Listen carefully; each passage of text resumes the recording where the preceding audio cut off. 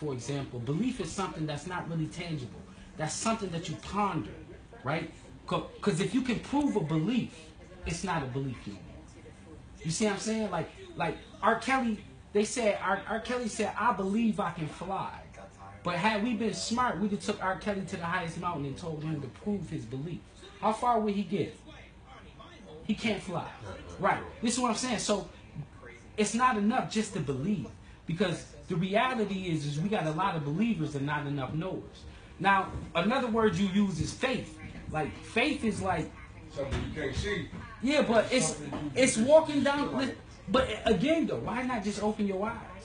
Because it, it, if I'm walking down the street, if I'm walking down the street hoping I don't bump into and bump, I'm fall into a hole, how far can faith take me? Faith is like blindfolding me, telling me to walk across the street and hope I don't get hit by a car. That's faith, right? All I got, all I got to do is fucking take off the blindfolds, and maybe I can navigate myself better across that street. So what I'm saying is, we can't been, we, we've been given faith on the plantation. You know, have faith that we will get out of this situation. Or we must believe that a Savior will come and liberate us from this hellhole that we find ourselves in. And it's not enough. Now we speak of Moses, right? Now you said Moses wrote the five books of this so-called Bible.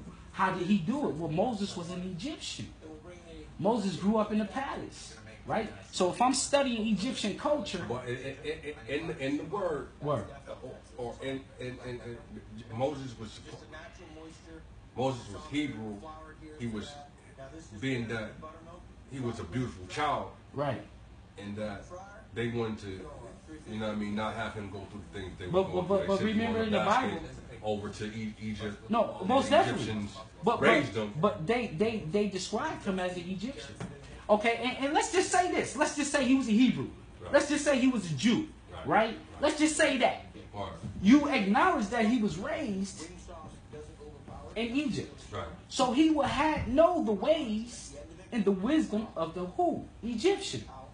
Right? Because if I'm if I'm black and the Chinese people take me and they raise me, I still be black, but I be learned in the ways of these Chinese people.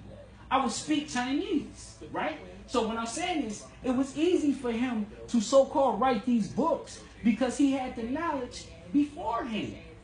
When we talk about the Ma'at and all the things that I've been trying to give you, this is what Moses was learning. Now get this, isn't it ironic that you have an Ak Moses, a Thut Moses, a Amen Moses, all in ancient Egypt? I didn't know that. All in ancient Egypt. Remember, I um uh, who was the the uh the famous Moses um um it wasn't Ak Moses. It was one of the Moses, but look them up. They all got tombs. They all got grave sites. They all got mummified bodies, proving that they lived in this one this one area. In fact, Moses was a name that was given much like Hajj is given to the Egyptians. I mean the um the, the Muslims. Right, right. Moses was a name that was given to to you when you went through the craft and you got initiated into the mysteries. It tells you in this very book, Stolen Legacy, on who Moses is and how they how they they um distorted Moses and and basically plagiarized this one Moses into this characteristic biblical Moses who has no real face, no meaning.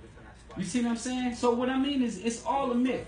And the, the reality is is you can't derive a myth unless you have reality first. And the reality is is they got it from us.